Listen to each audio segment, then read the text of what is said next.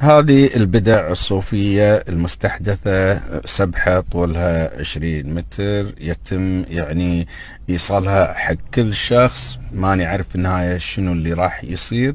لذلك هل هذه طريقة صحيحة أو اتباع لهدي النبي محمد صلى الله عليه وسلم أم لا؟ نرجو الإجابة.